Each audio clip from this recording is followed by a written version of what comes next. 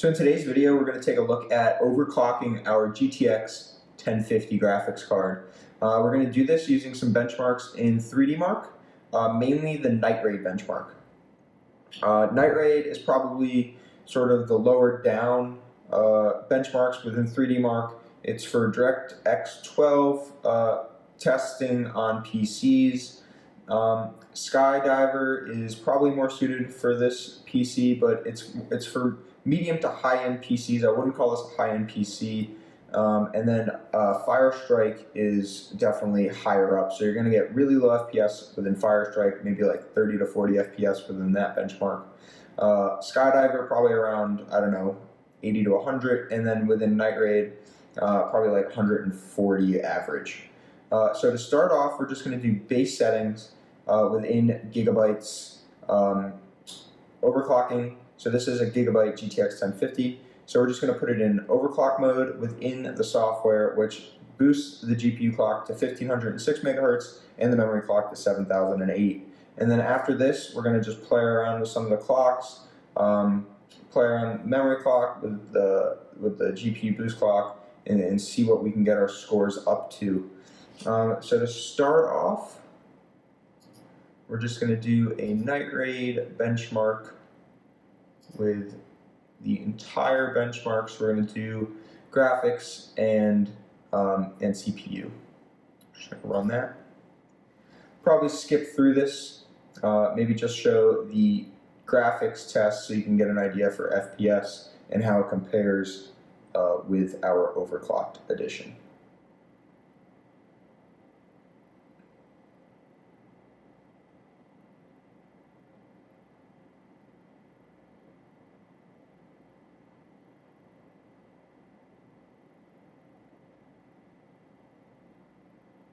And I am filming this from a camera rather than uh, screen capturing this, uh, just to make sure that we're not losing any any graphics capabilities at all due to the to the capture of the video. So we're just this is all on camera. So I'm sorry if the the footage is a little rough.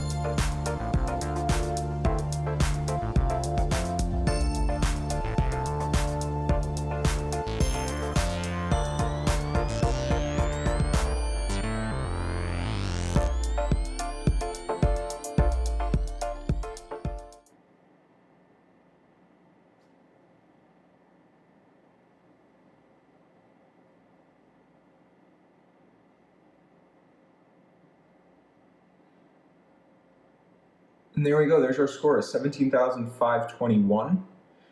Uh, so we got a 28,634 on the graphics score and then a 5,477 on the CPU score.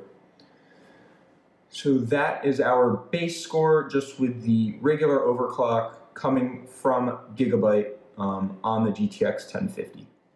So now that we have our score in um, for the base overclock, we're going to do our custom overclock now. So we're going to go into professional mode. And from here, we can adjust all of these settings. So I've already created a profile um, where I think we can still get a little bit more out of the graphics card. So I boosted the GPU boost up 162 points to 1650. And the memory clock, I boosted to 7450, up 442.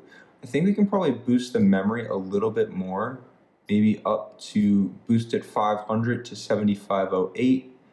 We set the GPU voltage at 100%. That doesn't really matter. It's already doing that um, on the card. And then maybe we'll try to just bump the GPU boost up a little bit to 1660. So we'll apply these settings to the card. Uh, we'll double check that they took place just by opening up GPU Z. So as we can see, we're now memory clocked at 2002 and a boost of 1660 on the core clock. So default clocks for this card are 1367 megahertz base, we're now up to 1559, 1752 megahertz on the memory, we're now up to 2002, and then boost from 1468 to 1660. So I have run this before, it has run. I haven't run exactly this high, but somewhere close. So hopefully there's no issues um, with the graphics card um, failing the test. So we should be good to go. So those are now applied and we will now run Night Raid one more time.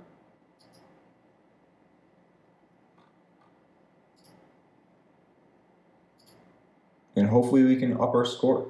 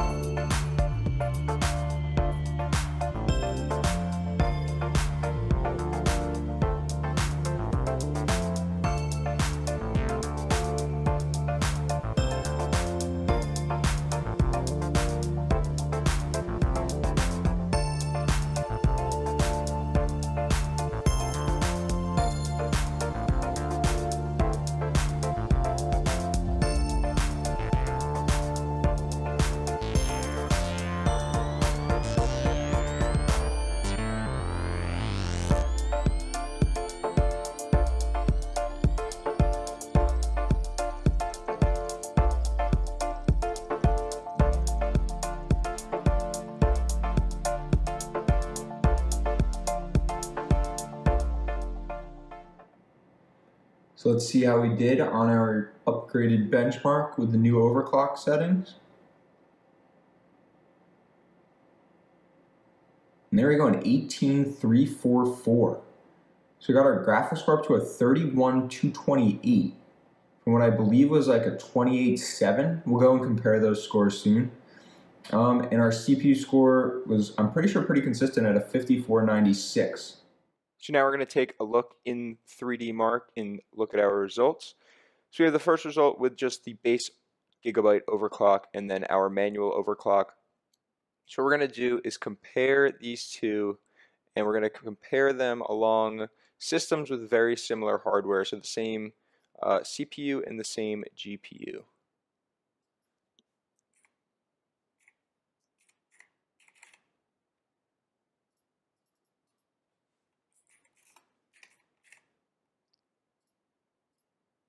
And here we go. So here's the top score, and we'll also compare it with the second top score. So we are in third place right now um, for this specific hardware setup. So looking into the scores a little bit more. So as you can see, my graphics score is way better than all the other graphics scores. So compared to our previous graphics score, we had a 28634. We then boosted that to a 31228. Looking at the other two scores, the first and second place score, there's they're 28706 and 28497. So these are probably non-overclocked graphics cards so those are just base scores. Where they're really beating my score is CPU score. Um, so it's about a thousand points higher on CPU score, and their CPUs are running um, that CPU test much faster. So looking at the processors, it looks like their max turbo clock is set higher than the turbo clock allowed for an i7-3770. So the max turbo on an i7-3770 is 3.9 gigahertz or 3900 megahertz. But their clocks are going up to 4.2 and 4.1 gigahertz, which I didn't think you could overclock non-K CPUs and, and boost and have that turbo boost go higher than 3.9. Um, so if you guys know anything that I do not, please leave it in the comments below as to how you think they might have been able to get their CPUs to boost higher than 3.9 gigahertz. Because for whatever reason, their CPUs are running faster, um, giving them these better scores, which allowed them to get first and second place. But if we could get that CPU score up just a tad, we would completely beat beat their scores easily by having a higher higher CPU score. So we could almost break the record for this set of hardware. So the GTX 1050 and an i7 3770, we're close. We can maybe, it'd be hard to do it just on graphics. And I don't really want to overclock the card any more than I already have, just out of fear of frying the card and not being able to use the system anymore with a, with a broken card. Um, so that's it for today's video. Hopefully you guys enjoyed the content. I had fun making this video probably the most fun I've had in the videos so far, just because it's it's fun to be competitive with benchmarking and, and compare yourself to other people with the same systems. So if you liked the video, if you liked uh, this kind of video with benchmarking and things like that, uh, please give the video a thumbs up. Like I said before, if you guys know how maybe that CPU score on these other two scores uh, was raised so high, please leave that in the comments below. And anything else you want to leave in the comments below, please do that. Uh, and then if you haven't already subscribed to the channel, please subscribe to the channel. We'll be pumping out some more videos um, like this one, and then as well as our upcoming PC build with an i7-8700K and an RTX 2060 going into an NZXT H500i, um, along with a Kraken X62 AIO cooler for that i7-8700K. So if you're looking forward to that video, please subscribe so you can stay tuned to some upcoming builds. Again, thanks for watching.